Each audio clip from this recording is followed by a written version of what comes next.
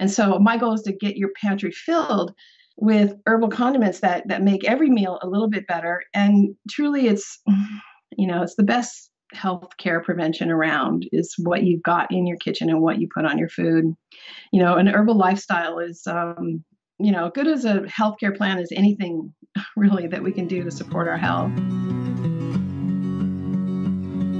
Hey friends, welcome to the Medicine Stories podcast, where we are remembering what it is to be human upon the earth.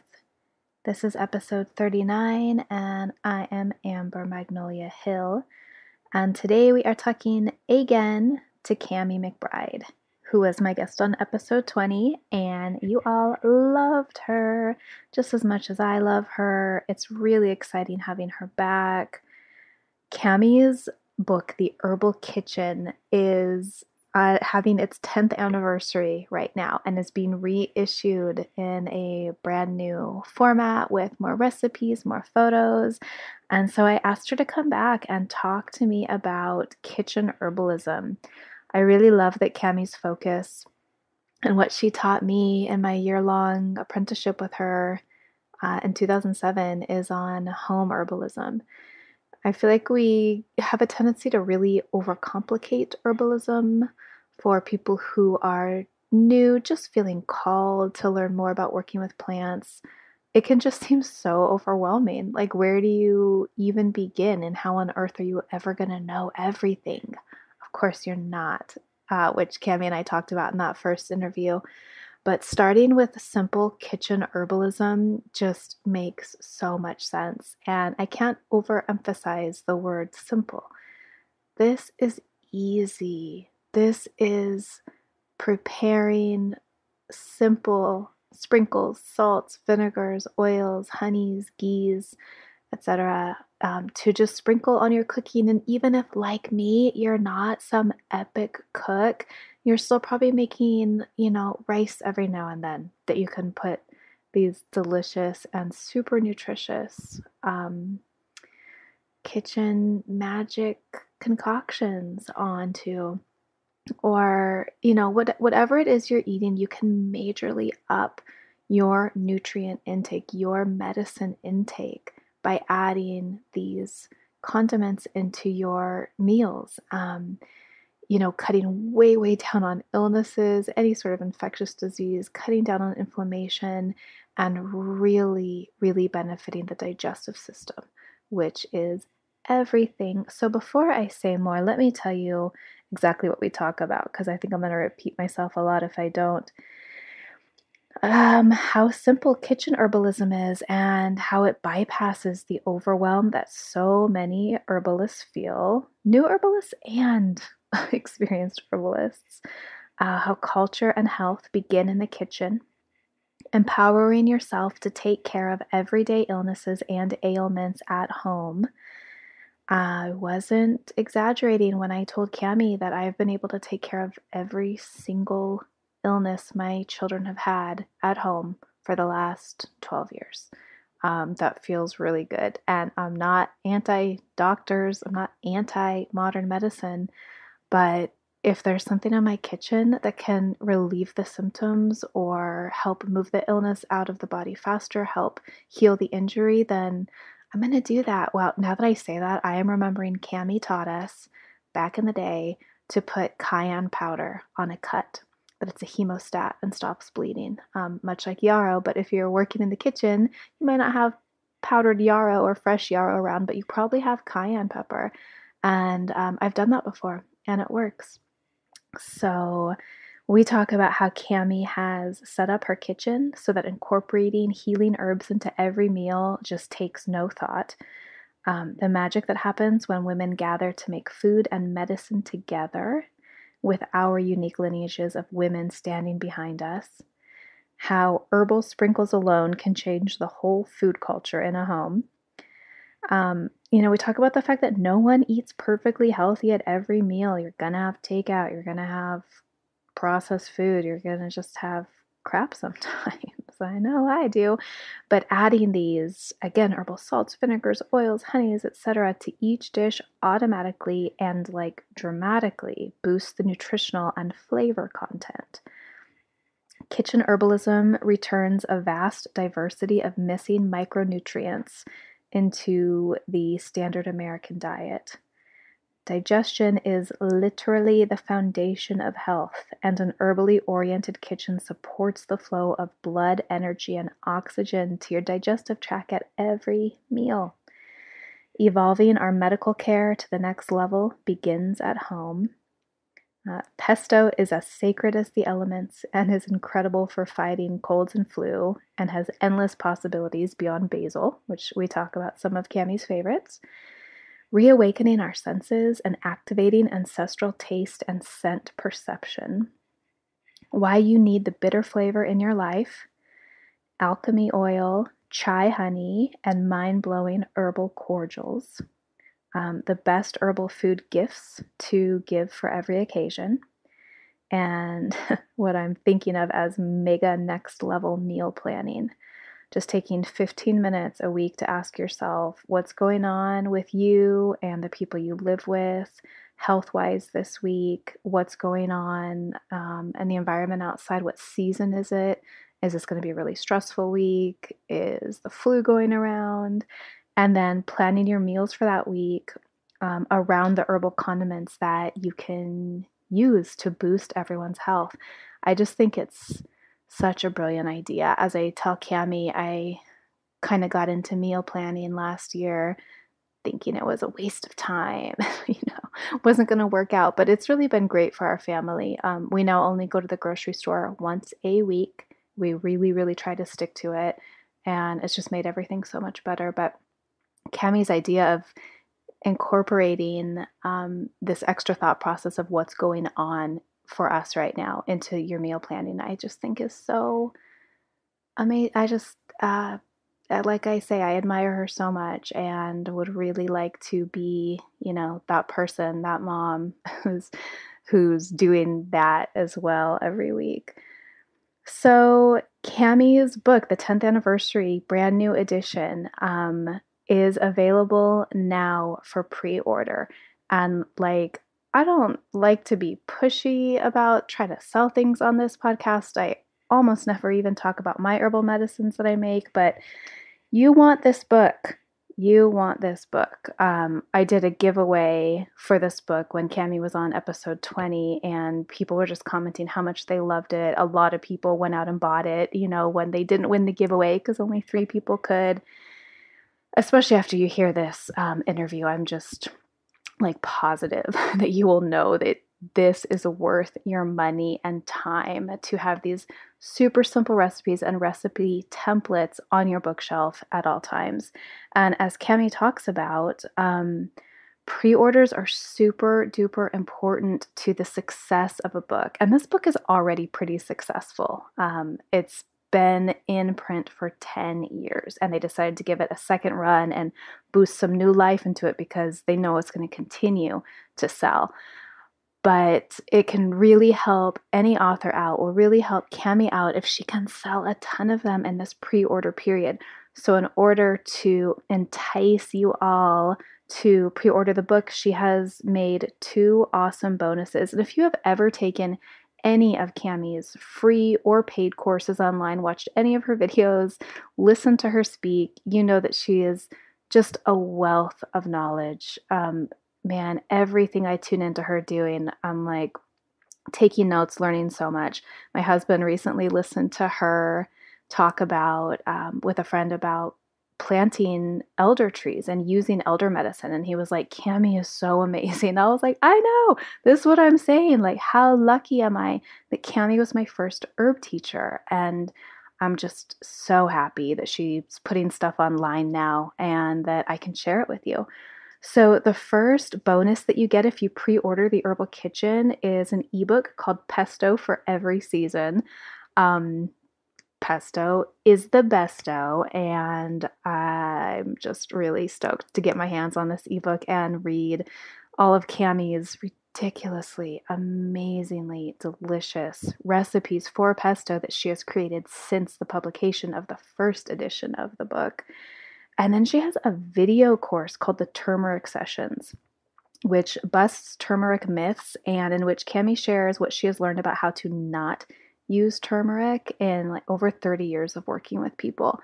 So, as I've talked about before on the show, turmeric is, you know, one of those like hot herbs. Everyone knows it. Everyone knows about turmeric and everyone knows it's anti inflammatory. So, um, take the capsules or whatever to deal with all your problems and your pain and your issues. And it is like every other herb, more complex than that, um, as it again always is. So I think it's super valuable that Kami decided to like cut through some of the misunderstandings around turmeric and to do it in video form. Um, so the link to pre-order Kami's book will of course be in the show notes. I'll probably put it right in the intro there, so it's super easy for you to find. And um, I hope you check it out. And there is not a Patreon offering to go along with this because Kami's incredible book and those two free offers are all you need. But thank you so much to the Patreon subscribers. I'm going to come back at you with some awesome stuff in upcoming episodes. So, thanks so much for listening. I just know you're going to love this interview. Please, please share with me and or Kami um, how it inspires you and like share photos of your what you make the food you make or the herbs you're inclined to grow after this you know? Um, let's bring health and empowerment around wellness back into the home back into the kitchen. It is so needed and again it's so so simple. So okay let's get into the interview now with Kami McBride. Okay hi Kami welcome back Hey, Amber, I'm so grateful to be spending this time with you. As am I. And there has been high demand for your return on this show. So there's going to be a lot of gratitude out there. Aw, good.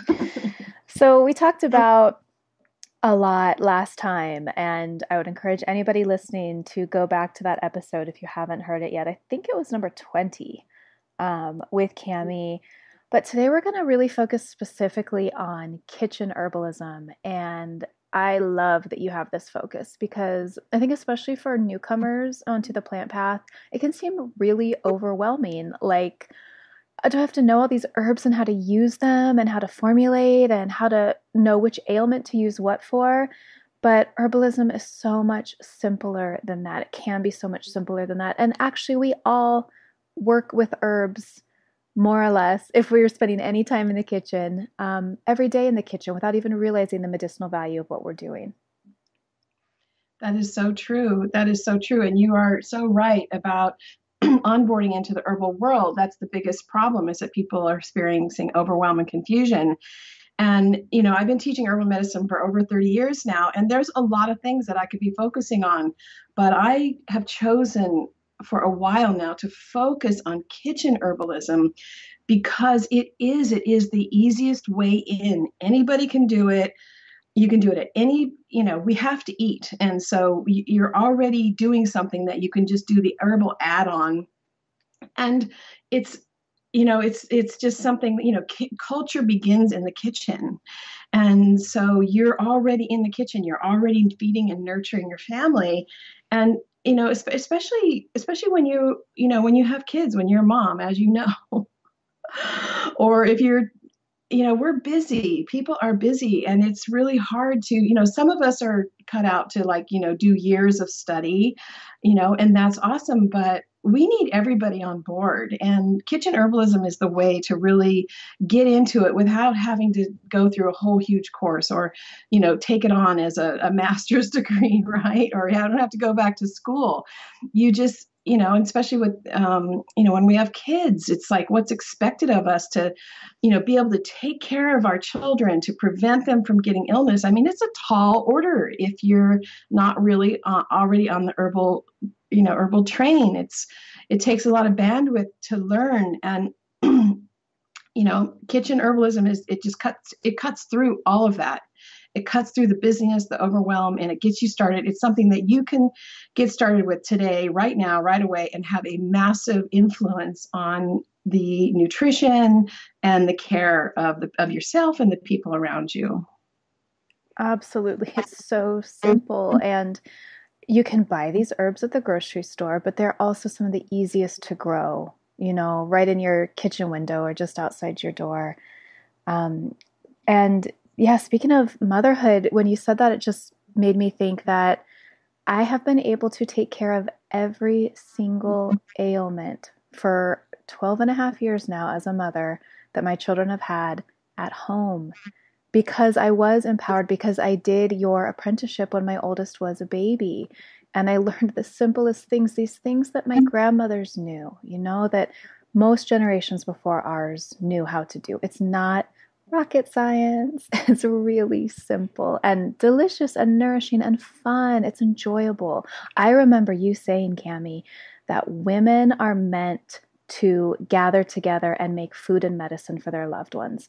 And man, I have found that to be so true. We love doing that. We love doing that. I think it really flows through our blood. We just need to get back into the mm-hmm. kitchen with those herbs and start.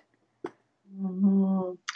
You know what, what you just said um, made me think of something, and I want to. I'm going to just t- go ahead and talk about it, and that is, you know, this this book has 250 recipes in it. I mean, who writes a book with 250 recipes, right? um, but there's actually something surprisingly special about the recipes in the Herbal Kitchen that I don't think you're going to find in any recipe book. And so the thing is, is, I didn't decide to write this book and then create the recipes because most books are actually created that way. You know, you go, I, oh, I got a book deal. Now I got to curate the recipes and gather the recipes. Nope, that's not what happened here the Herbal Kitchen was written, my book, The Herbal Kitchen, was written based on the recipes that were developed in my classes. So the, the recipes wrote the book. So here's what happened 15 years of teaching my year long mentorship. we, you know, the guidance was we gather together, we listen to the plants, and we're inspired to make the healing medicines that the people need. And you were part of that. You were part of that 15 year period. 500 women passed through my course during that period when these recipes for the herbal kitchen were being developed and you know like you said there's just there's just something magical that happens when we sit together chopping the roots and sifting the seeds and mixing the herbs. You know we relax more we laugh more and suddenly we go into that part of our brain that solves problems. You know our our our minds let go and we stop we stop trying to hold on to like oh my gosh what good what good what herb is good for this? And what herb da da da da da. And then what happens is that the body memory kicks in and you know this was such a surprise to me. I didn't learn this in herb school and i just started noticing it at, over and over after class the lineage the heritage you know the thousands of years of making medicine together in a group um, the body remembers you know the brain the brain keeps saying what what's this good for? But then when the brain takes a break and the body remembers we just all of a sudden go hey let's try this. And so the best recipes are made that way. And so the recipes in in the herbal kitchen were created out of this inspirational medicine making spark that happens when you make medicine a group that's focused on on healing together. And it's nothing that i could have ever done on my own. Um, you know but we just kept coming up with great recipes and kept you know there are actually way more than 250 recipes but these are the ones that people had the best success for with and you know and so every single woman including you has your heart and hand in the refining and perfecting of these recipes that are that have one goal and that is to activate kitchen herbalism so that's I don't know. I, I just feel like it's magical. it really is. And then I think too of like the lineage of women standing behind all of those 500 women. Oh. like that's this is a powerful book. I love that image. Thank you for that. Oh my gosh, I just got chills. I did too when you were speaking. Um, and you know, you kind of let me here in the intro, I had um, underlined this probably years ago. You wrote, Many family home medicine lineages in the Western world were lost in the last several generations. We were mesmerized by the novelty and scientifically proven superiority of synthetic food and modern medicine. We cast our grandmother's teas and herbal powders to the wind. I have often wondered how it must feel to a grandmother when her clan dismisses her ancient wisdom as an old wives' tale. This loss of ancestral food and medicine literacy is nothing short of tragic. Mm-hmm. That's so true. I feel that I, I I I feel that in my bones. Like what it must have been like to have the knowledge and then just everybody just throwing it out the window, you know, and then here we are. It's just um, and and it's it's why we are we have a medicine you know it's one of the reasons why we have a medical system that we have is mm-hmm. because we're susceptible and vulnerable and we've lost our we've lost our our literacy and heritage mm-hmm. And we've lost our health because we've been eating that way. We've been eating the processed foods and um, and not using our senses you know when you're talking about how these recipes were developed i'm really thinking about what a like sensual experience that is. And again like you said moving out of that certain mindset and into a more relaxed and open space where true learning happens, where true healing mm. happens, and where we're just alive and joyful. Mm. Yeah.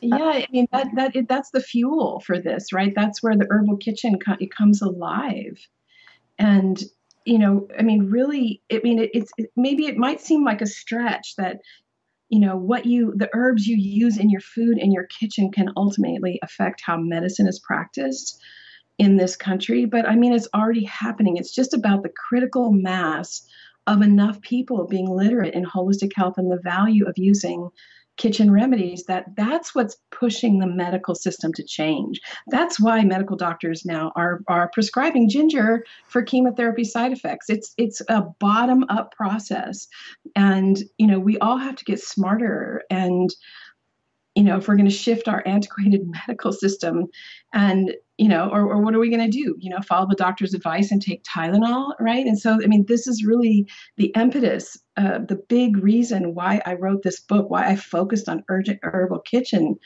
um, medicine is because I my deepest desire is that everybody can start practicing medicine, kitchen medicine, mm-hmm.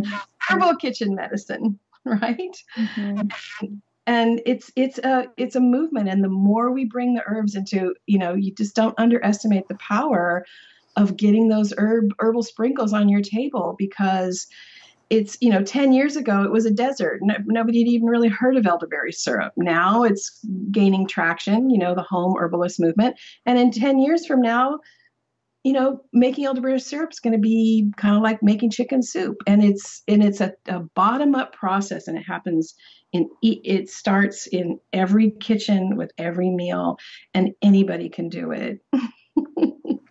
Oh, it's so exciting to think about there being, uh, you know, a revolution, a true food revolution um, of just people cooking at home and knowing how to take care of common ailments with everyday plants and herbs. It's just it's so simple. It's so funny that we talk about it as if as if it would be a revolution, but it would be because of where we've gotten in the culture. But I just can't emphasize enough how easy it is. And I have to admit that I'm not much of a cook. Um, I don't love being in the kitchen. I'm just always I'm like I'd rather be reading a book or writing something or podcasting or you know? Um, like I really admire people who just love the process of being in the kitchen. But mm-hmm. every time I pick up your book I am so inspired to make something. And these recipes are simple. They are so easy to understand and to use. And like I'm looking at um, a drink recipe right now and I love when you have you have a little like intro into most of these recipes. And so this is for lemon verbena nectar. And first, I just want to read these ingredients if I may, because just to show people how simple it is. A cup of lemon verbena tea, one of my favorite herbs ever. A tablespoon of ginger honey, which you have that recipe on another page, incredibly easy to make. A cup of frozen blueberries, and a handful of fresh lemon balm. Couldn't be easier. Blend together. So you have written my five year old son, who's 14 now, yeah. he is. I was pounding out this book when he was a tot, you know. That's crazy. I know. I'm telling you, it wrote me. I didn't write it. but you wrote, My five year old son created this recipe. He is definitely a smoothie kid. I have a lazy Susan with several herbal honeys and herbal sprinkles, si- sprinkles mm-hmm. sitting by the blender. He uses whatever tea I have left over from the morning, a mix and match of honey and sprinkles, and his favorite fruit, blueberries. He calls all of the smoothies green drinks, even though this one is blue. Um, so there's like little tips like that. Having a lazy Susan with several different herbal honeys and sprinkles sitting by the blender. And I remember you saying, I think too, that you have. Okay, I want to ask you how your kitchen is set up. Um, I picture there just being bottles of homemade herbal things everywhere that you can just throw a dash here and there while you're creating food. Mm-hmm.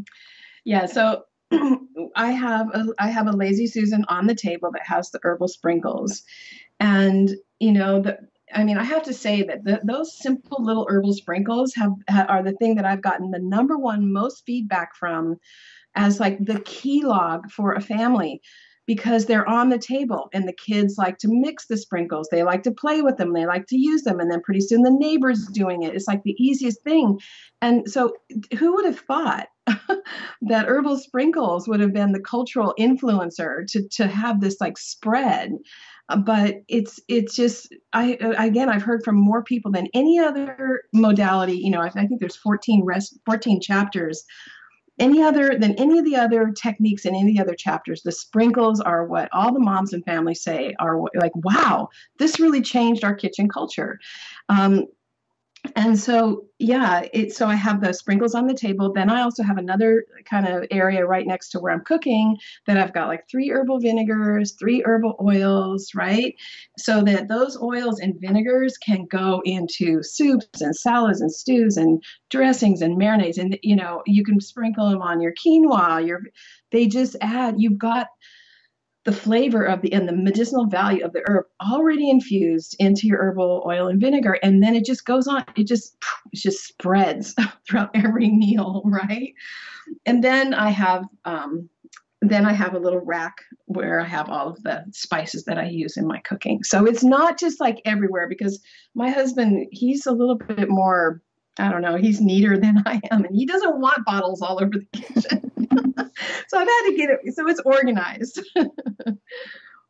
so.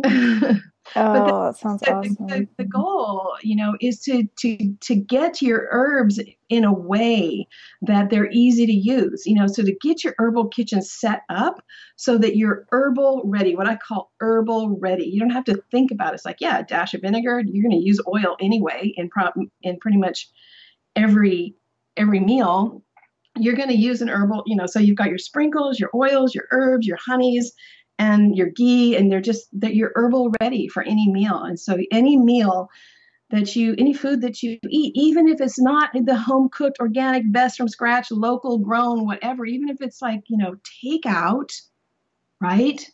Because we all don't eat perfect all the time even if you're eating takeout or something that's a little bit, you know, okay, um, you can add these condiments, these herbal condiments, and it will up the nutritional, you know, it will just make even the not perfect food better. And so my goal is to get your pantry filled with herbal condiments that that make every meal a little bit better. And truly it's, you know, it's the best health care prevention around is what you've got in your kitchen and what you put on your food you know, an herbal lifestyle is, um, I don't know, it's as good of a proactive, you know, good as a healthcare plan as anything really that we can do to support our health, you know? Absolutely. Um, I think too about how, like, one of the big issues facing people today and health wise is that we don't get enough variety of micronutrients in our diets you know especially people really eating the standard american diet. Um, you know they're mostly consuming mm-hmm. corn a lot of potatoes a lot of wheat um, the same foods processed over and over again into things that look and taste differently because they're flavored differently. And so what we're missing is all these little micronutrients and those tend to have like the antioxidants and a lot of those other nutrients that we need so much and it can also feel overwhelming especially for people who have always been eating the standard American diet to suddenly start bringing in like a huge variety of vegetables and they might not know how to cook them all. And it just seems like not even worth starting. So, this is such a good way to bring in a vast diversity of different micronutrients, chemical constituents, and medicinal components into what you're eating every single day. Yeah, you're you're you're right. You're right. It adds a level of diversity that you don't even have to think about, and it it helps with digestion of every meal.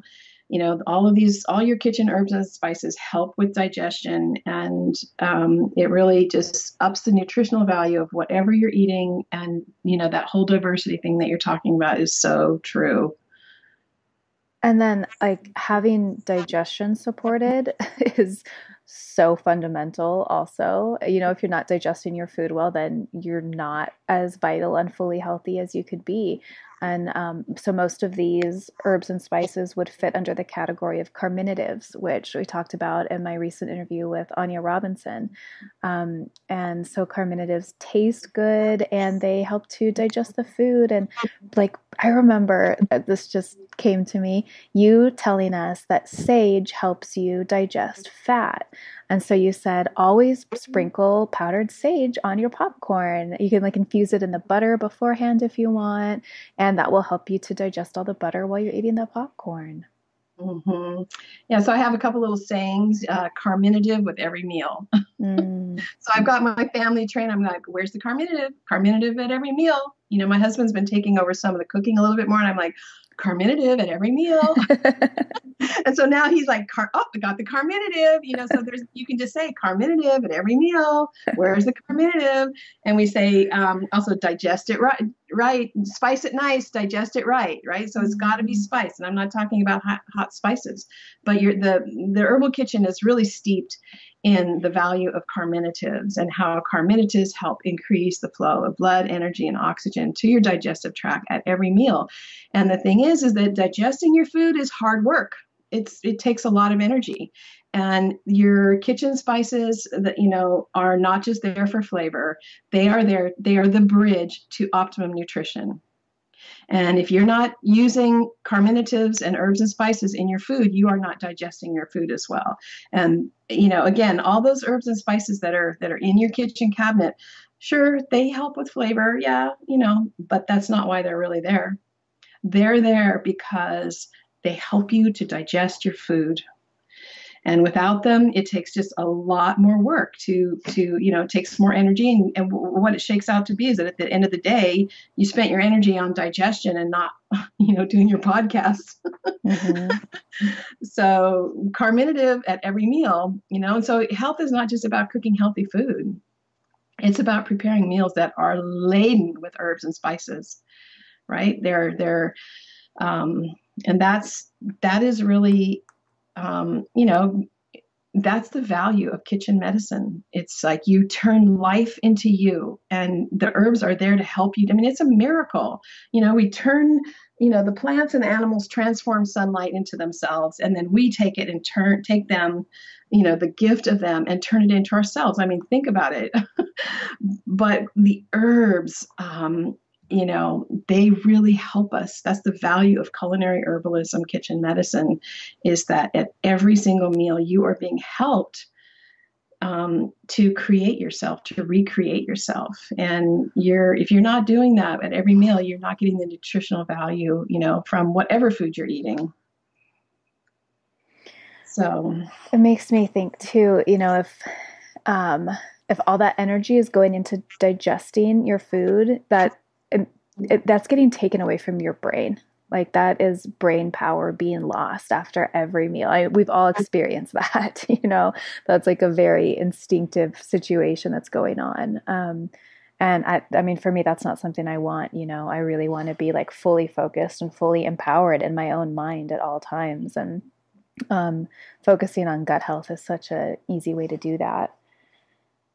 Yeah, I mean, we've all had that experience of just you know not eating the right thing um, or you know eating too much at a feast and just like oh my gosh i want to take a nap right yeah. and so if we if, and, and also when it comes to healing we know that helping with digestion is one of the best things we can do that's why every tradition in the world talks about eating lightly when you're not feeling well or when you're dealing with an illness is because to free up the digestive energy then your body has the capacity to heal to to to go to the brain to go to creating hormones wherever you wherever you need it right? And so if we know that um, freeing up digestion is the best thing for healing why not uh, do it every day Yeah. so why not really support our digestion every single day and not just when we're not feeling well? Yes. Yes. Uh, something I really love about this book is that, like, I'm looking at the herbal sprinkles and salts chapter right now because we were just talking about that. But I know you do the, I think you do this in most chapters. I remember the pesto chapter. Um, you have a great intro, first of all. I really encourage people to read, like, all of the words in the book and not just the recipes because there's so much wisdom in all of them. But then you give, at the beginning of the chapter, after the intro, uh, like, sort of a basic outline of just in general, this is how to put together herbal sprinkles and salts. This is a basic pesto recipe.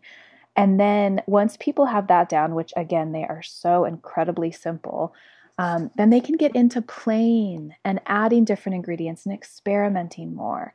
So, that to me is so valuable just to have this framework of this is in general how you're going to make an herbal salt, an herbal sprinkle, an herbal pesto, an herbal ghee, an herbal honey. And then let's move into playing with it, um, looking like narrowing down by the flavor profile that you want or by which ailment you're hoping to address. You have like anti inflammatory. Uh, ghee in here and after dinner seed chew um, which is carminatives right uh, so I just I like how you give that foundation at the beginning of each chapter and then go into details and specifics. Yeah, I mean, it, you're right. It's it's good. There's the, the bases are all there. I mean, and then there's a lifetime of so many recipes, but really the goal is not to follow the recipes. Um, it's like my book is just full of scribbles of like oh i added this this time or oh i tried this or people didn't like this you know it's i mean i need a new book. But it's it's like you're you're you're you're putting it out there. You're putting this palette out there. And then your family and your kids and your community can you know there's a, a scent and texture and flavorscape that's just out there. And you're you're creating this environment that it's it normalizes it. It's like oh this is normal this is what we do and so then they can choose the scentscape that they like or they're like oh i like this texture and they get to paint a painting and and they figure out what it is that they like and so then you know when you start doing that and you start having carminative at every meal you know, you go traveling, or you know, although when you travel, you should carry a three seed um, chew with you, take it with you.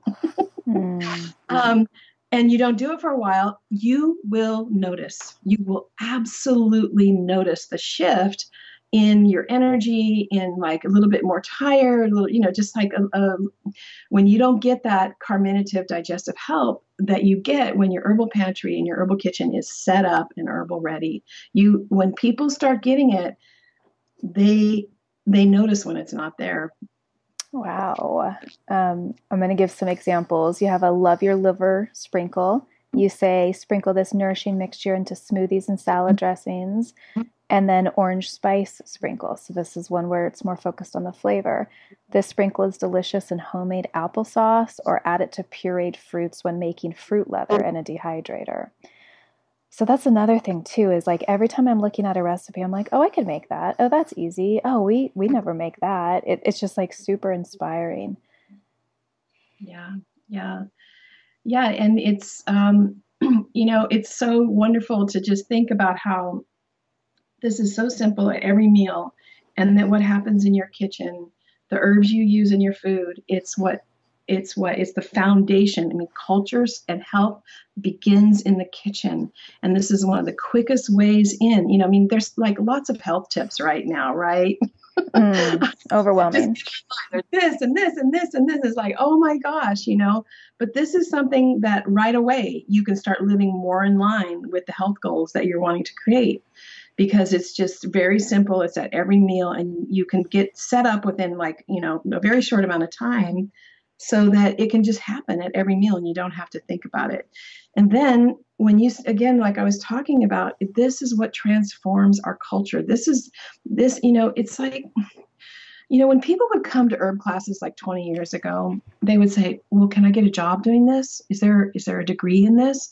And it's like, no, there's no board, there's no certificate, there's no licensing, there's no nothing. And but yet everybody kept doing it. There is a cultural transformation happening in the kitchens that's pushing you know to to for us to evolve to the next level with our medical care.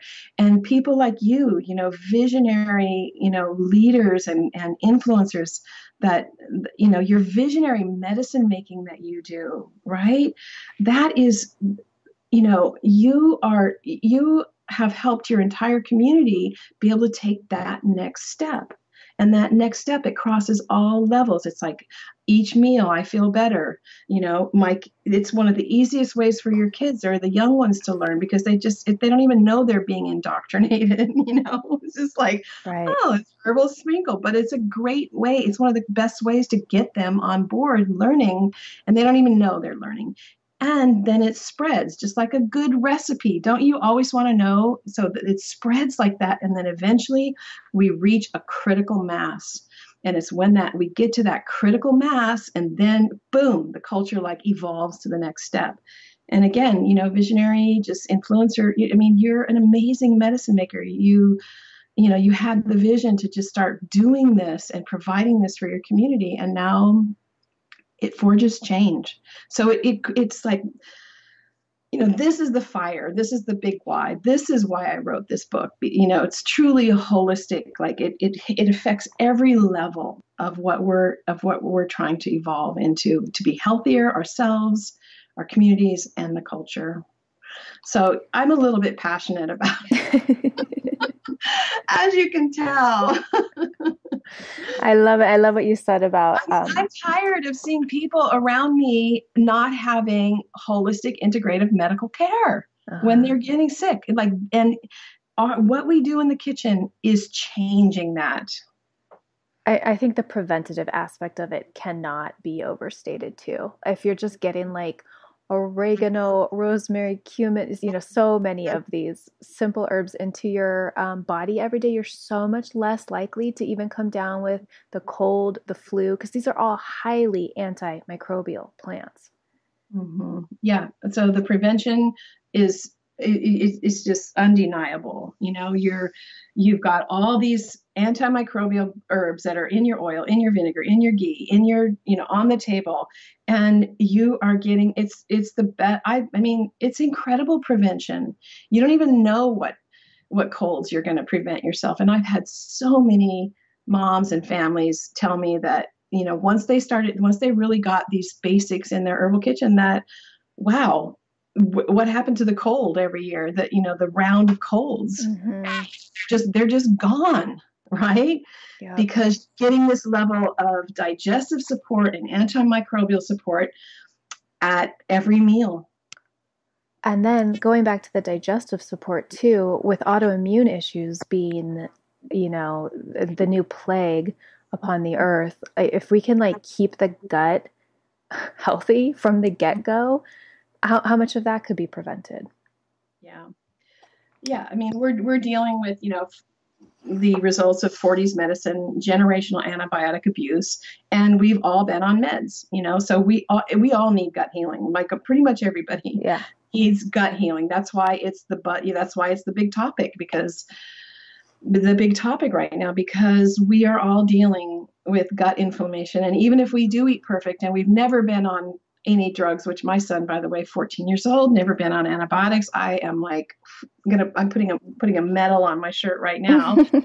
but it doesn't matter. You know, he's starting to eat more, you know, he's still getting the glycophosphates, he's still getting the pesticides and the chemicals just mm-hmm. that are that are swimming all around us. Our guts are being affected. And so to have this gut support plate, you know, in place in your kitchen you know it's it's um it's why we're reclaiming this heart this this home art you know and and you and all the all the kitchen herbalists you know we're building this bridge for all of us to put this back in place again yeah, and going back to talking about kids, and my oldest was 12, and it's hard to get her to eat good food at this point. Um, mm-hmm. She is pretty easy when she was younger, but especially because she spends half her time with her dad and they eat differently, it's just hard to get her to eat like I used to be able to. So, this is such a simple way, um, like you're saying, to get those little nutrients into her.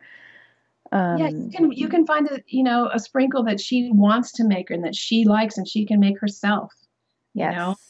Yeah, and she loves baking. She's a huge baker, so I think that some of these honeys and some of your like um, more sweet ideas would be fun for her to play with. The sprinkles are great for baking. You can make all these. I have several sprinkles. There's you can make baking sprinkles. You know mm-hmm. that are just mm-hmm. really really fun. So yeah, she's gonna have to. You know, at that age they do. They got to pick it up themselves. yeah, yeah.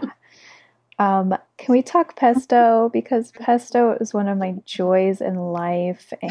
And um, after I interviewed you last summer, I got your book down off my shelf and ended up diving deep into the pesto chapter and was so, so inspired. And I love, you wrote, Pesto is more than a condiment in my kitchen. It is its own food group in our house. It holds a place as sacred as the elements. There is earth, water, fire, air, and pesto.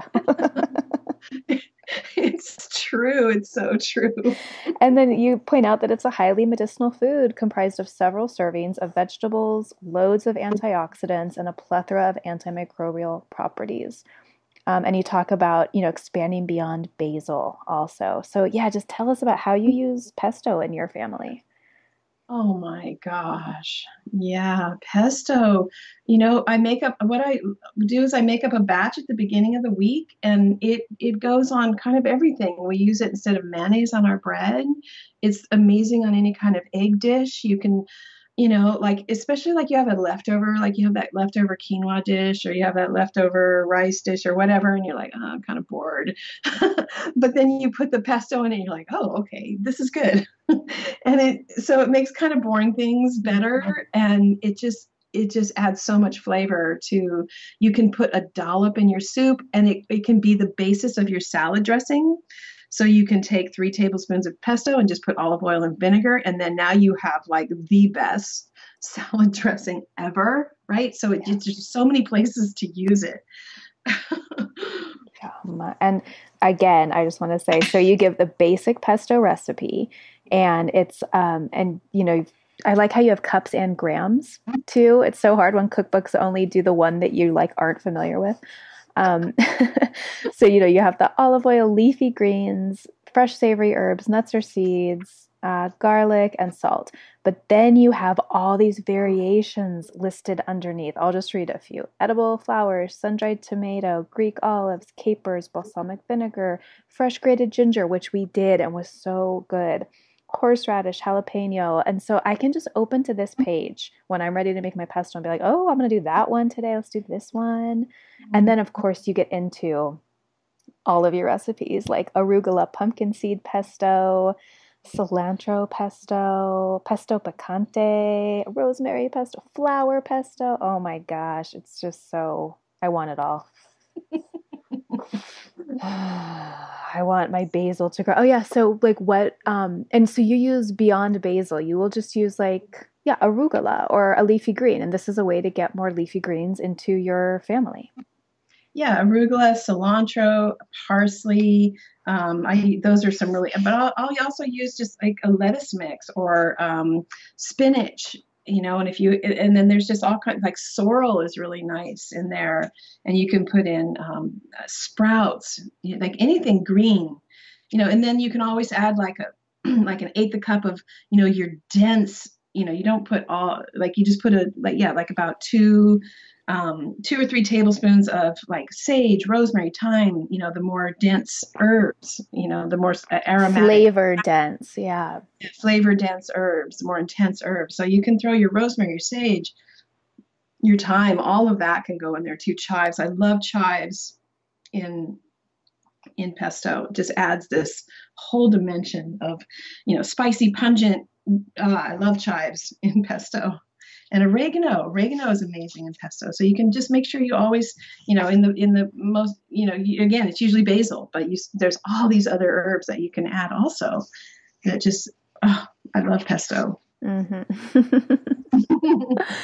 uh, yeah, I mean, going back to the senses too, like I think so many of us growing up eating processed food have kind of a um, like a flat palate uh, it's hard to distinguish flavors, you know. And I think that I can imagine that the more you cook like this, the more this like sensory wonderland opens up. And um, I think that really is also just something that can connect us to our ancestors and like remembering what it is to be human upon the earth and to be able to differentiate minutia, minute changes in flavor and scent. Yeah, that that's good, and also knowing what you want. So one of the things, I mean, I was, you know, my dad was a diver. My grandparents and my dad, they were divers, and they were uh, fisher people, and they were foragers, and they were gardeners, and we ate a ton of spam, Velveeta, Pop Tarts, TV dinners. you know what I mean? Mm-hmm. But we would go to the Rainbow Bread outlet once a month. I'm not kidding you there was an outlet where you could get rain where you could get um, hostess and rainbow like half price and we would like stock up on that crap. So i had it all but i have a flavor for all of it right? But oh my god i'm still suffering from that. Yeah. i'm still working out those those ho-hos you know? But it's you know, since I started, you know, working with herbal medicine, you know, at first it was like bitter, ugh, yuck. But now, if I don't have bitter, you know, I, I crave it. My body craves it. I can feel it. My bowel movements aren't as good. Um, you know, it's like, oh, I have a bitter. I, I can tell when I need more bitter flavor, when I need to like, you know, get that liver squirting, get that gallbladder squirting, and just digest my food better. So, it also, it, you over time, you go, oh yeah, I need this flavor.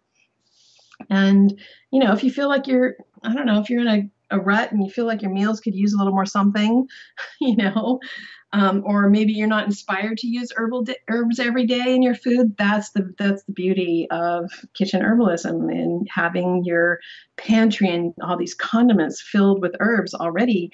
You don't have you you only have to make them once every six months or even once a year sometimes, and then they're just you know you're ready to like do all these things and support all these levels from the very personal to to planetary really um, how do you incorporate the bitter flavor and what, what does it do for your digestion and your liver?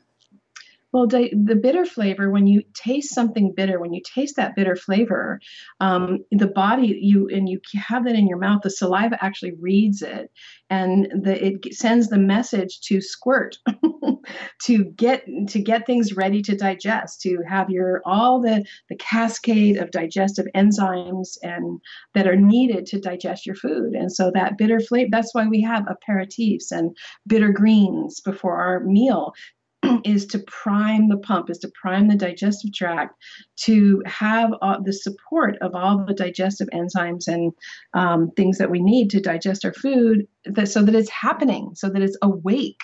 And it's it um, the bitter flavor increases the rate at which your your gallbladder and liver um, produce and secrete bile, and bile is what you need to um, digest fat. So the fattier the meal, you know, a little bit more bitter green before, you know, before you eat a lot of fat. And is bitter greens the main way that you use bitters?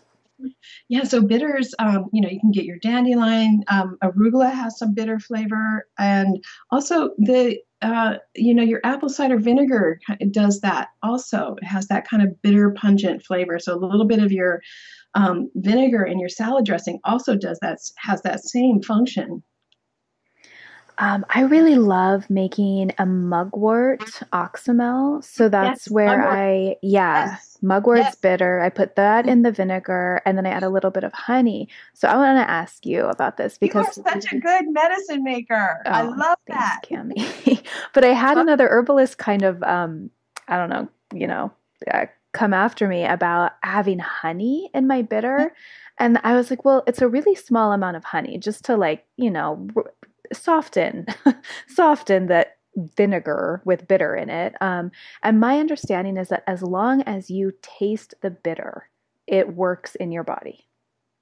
Yeah, you just want to taste that flavor, you know. And I mean, look at some of the uh, the, the drinks. Look at all the the the bitter aperitifs like the, the, that comes from France. They're not just like slamming you with bitter. There's all these other like sweet and um, musty and woody flavors. It's not you don't only need bitter, right? right. But as long as you can taste the bitter through that, then um, then yeah. Yeah. Okay, thank you for proving me right. well, you know, and we're just, it's like, we just, you know, we grab onto one concept and say it's that's the way. And so, yeah, anyway. Yeah. And man, I do feel so much better when I'm taking a little bit of that uh, mugwort oxymel every day. I, I got to get that back into my life. it's um so you know I'm really thinking like I I get into my things that I'm doing and then I fall out of them all the time, especially right now with a two year old. Um, because as soon as I step in the kitchen, she's like, I want raisins, you know, and like I just have no space to think about anything or do anything.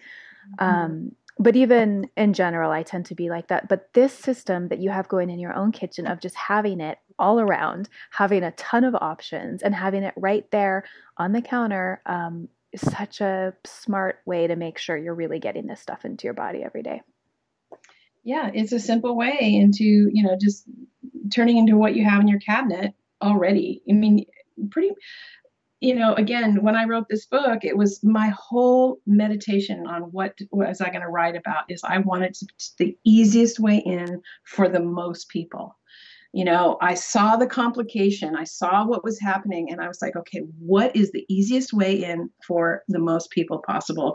Because I'm ready for a shift in this culture and I want it to happen, you know, and so that's the intention that the Herbal Kitchen was born out of. And when you start, you know, you just take what you've already got in your spice rack and what, you know, the oil, the the vinegar, the the honey, the whatever you already got and you make these condiments so that they're on your table so that your kids use them so that they're ready to put be put in those cookies that they want to bake you know? Um, you're you're herbal ready. You're you you can just start it's just it just happens. Even if you're tired even if the kids are you know it's I've been there. I know what that's like. I know it's like to go in at three o'clock in the afternoon and be like, oh my God, I have to come up with a meal now, a healthy meal you know and so you start with like okay wow well i've got this vinegar and oil. At least the salad dressing is going to be super healthy. Mm-hmm. yeah or like one of my go-to dinners when we're so tired or have very little time it's so simple but i love it is um just a little bit of white rice with like runny eggs on top and maybe greens or cheese depending on what we have. But that like basically every recipe in here would enhance that super oh, simple yeah. meal. You put sprinkle on top of that. You drizzle that with some culinary, you know, you put a little um, alchemy oil on that. That's one of the, you know, so there's a few recipes in the book that I've gotten so much feedback that are like, oh my God, that's the best. So you put, you make some of the alchemy oil that's in the um, herbal oil section. And yeah, it just tra- takes it to a whole nother level. Mm, yeah. What, what other recipes are superstars? Uh, superstar is definitely the chai honey is a superstar. There's a lot of honeys that are oh. superstar, uh-huh. um, and the uh, alchemy oil is. Uh, I think I've gotten between that and the chai honey the most uh, feedback from, but also the lemonades, like the lemon verbena lemonade and the herbal lemonade. That's also mm-hmm. one of those kind of key logs that can transform like a party, a, a, a, birthday party, a school gathering. You know, it has the potential of really reaching a lot of people and having a big impact because you're changing what people drink. You know, you get rid of that ice chest of like whatever after the soccer game and you bring some herbal lemonade and now you've got 30 people going wow what's mm. that Yum.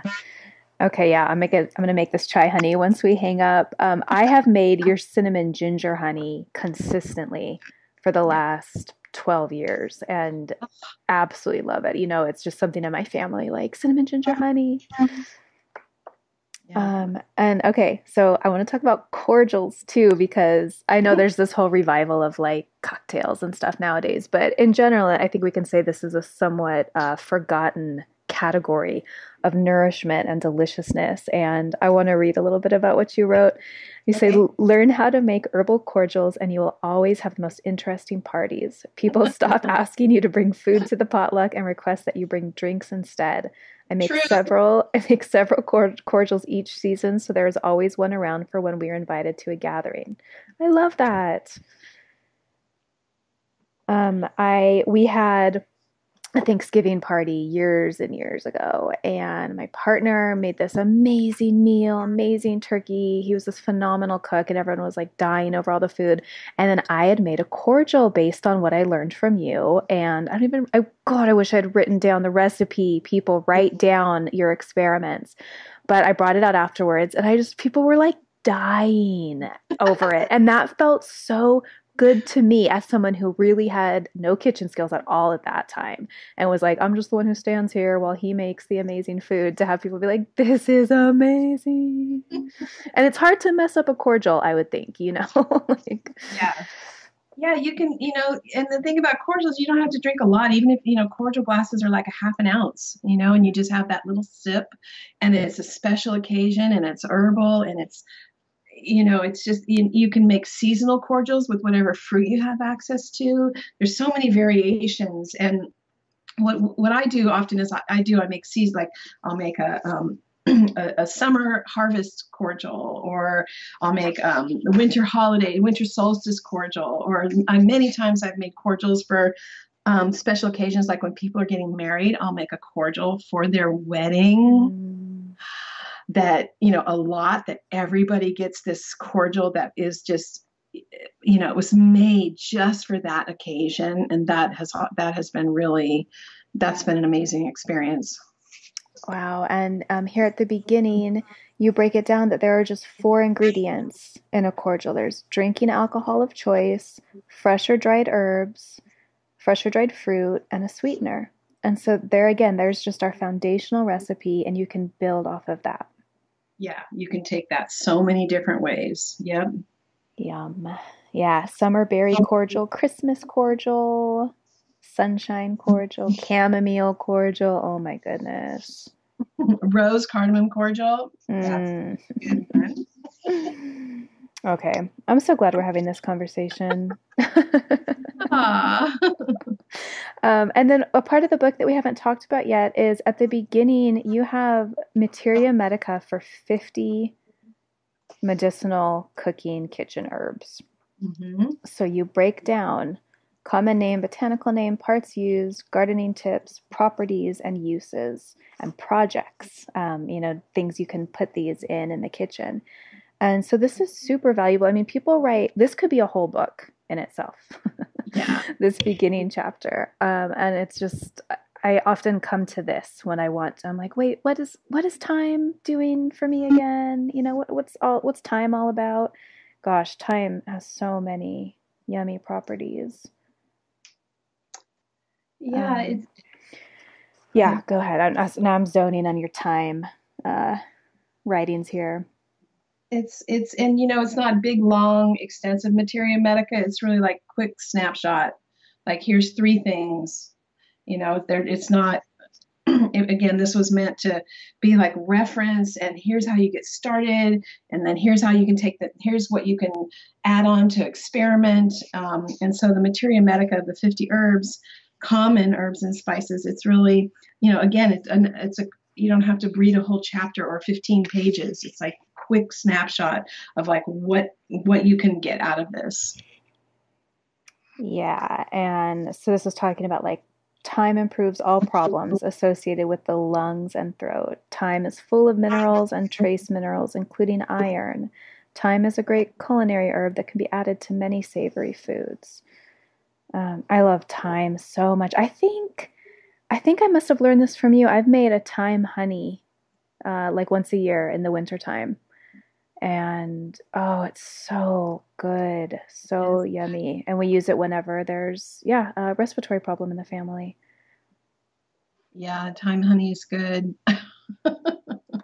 What like what what's your favorite herb Kami? Um oh, wh- which which of these do you really tend to use a lot? Which herbs? Yes in your kitchen. Well, the, all these 50 right here.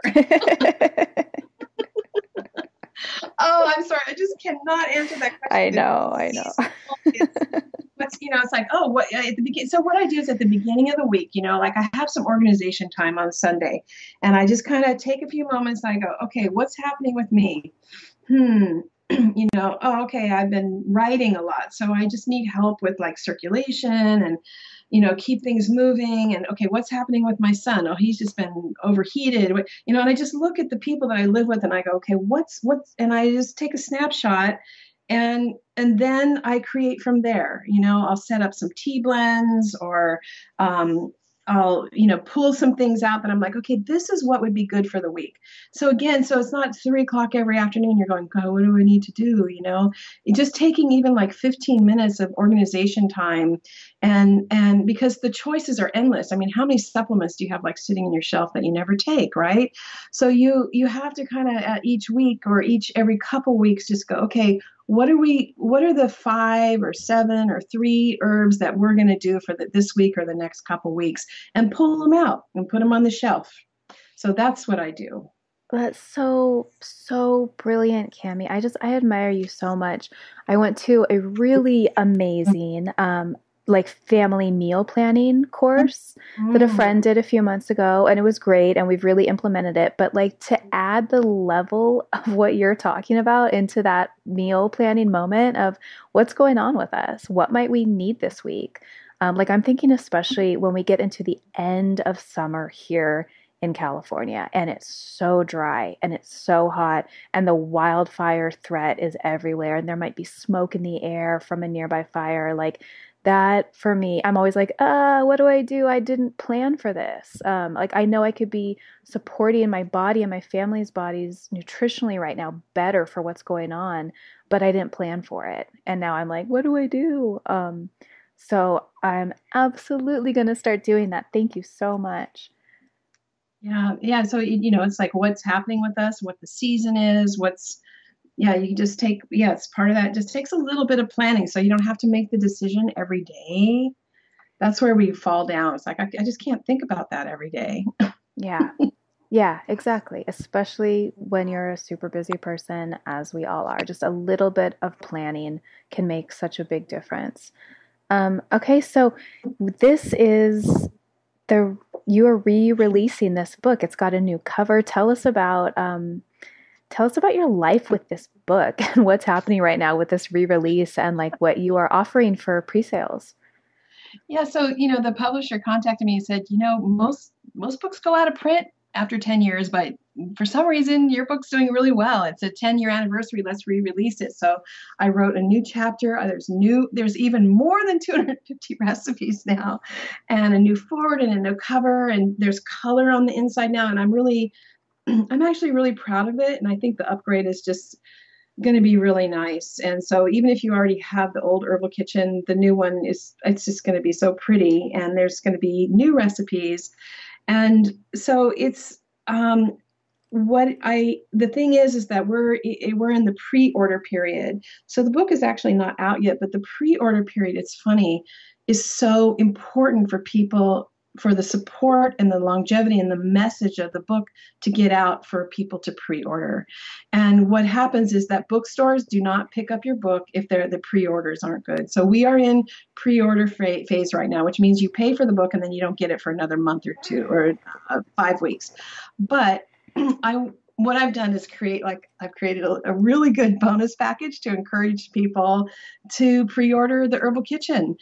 Um, and so one of the things that you, when you um, pre-order the Herbal Kitchen, just only during this period, only during this pre-order period, I've created an entire another ebook on herbal pesto called Pesto for All Seasons, and I have four, I think 14 new pesto recipes that I've created since the book. So the pesto is just going to get even better. I'm so glad I asked about it. and then the other bonus that I created is called the turmeric sessions because right now turmeric is kind of the most the herb that I'm getting that I get the most questions about. And so I've created a whole um, video course on turmeric um, I think there are 12 video lessons in there where I, t- I walk you through all of my favorite recipes for um, using turmeric, but also I talk about how to use turmeric. Turmeric has contraindications. It's not for everybody all the time.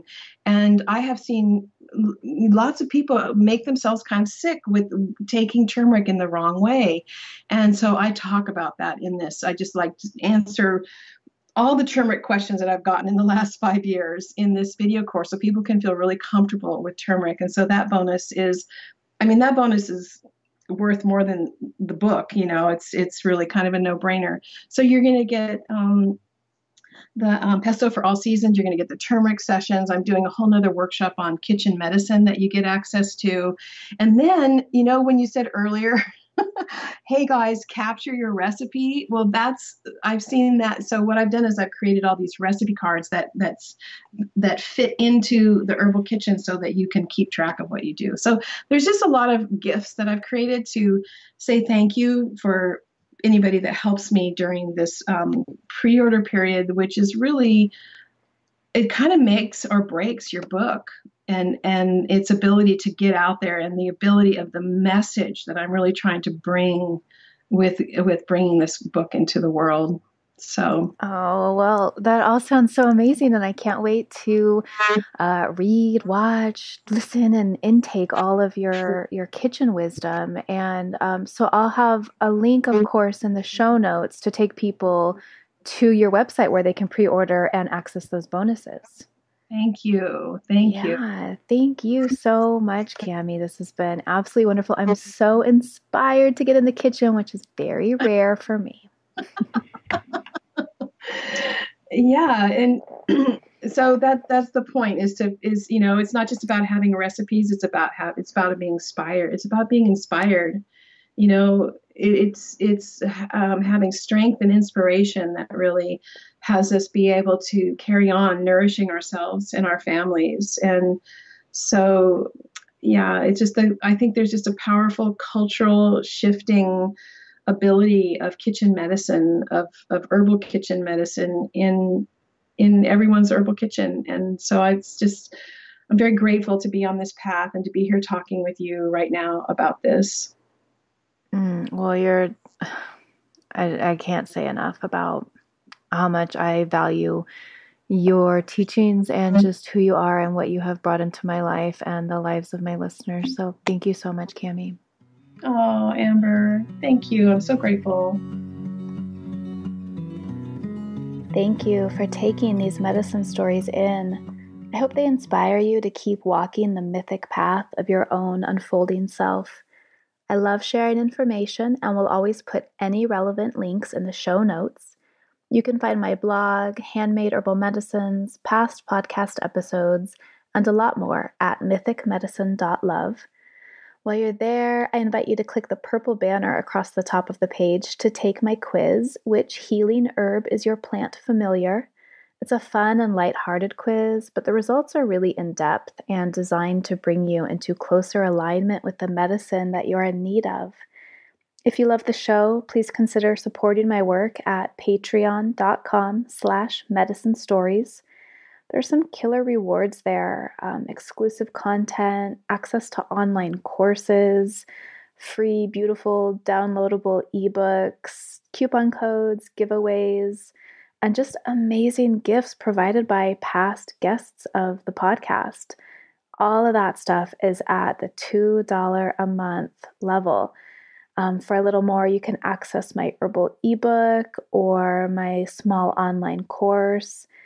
And that's all there as a thank you, a huge thank you from me and from my guests for listening, for supporting this work. I love figuring out what I can give to people on Patreon. It's so fun. And I love that Patreon makes it that you can um, contribute for such a small amount a month.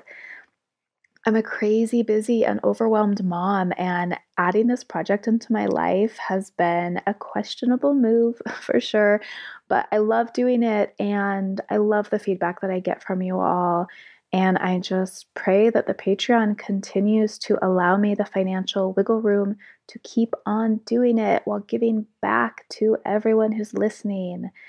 Um, if you're unable to do that, or if you'd like to support further, I would love it if you would subscribe on iTunes or wherever you get your podcasts. And if you would review the podcast on iTunes too, really helps get it into other ears. And it means so much to me when I read those reviews. It's um like the highlight of my week when I check them and see new ones. And people are amazing. You guys are wonderful. Thank you so much.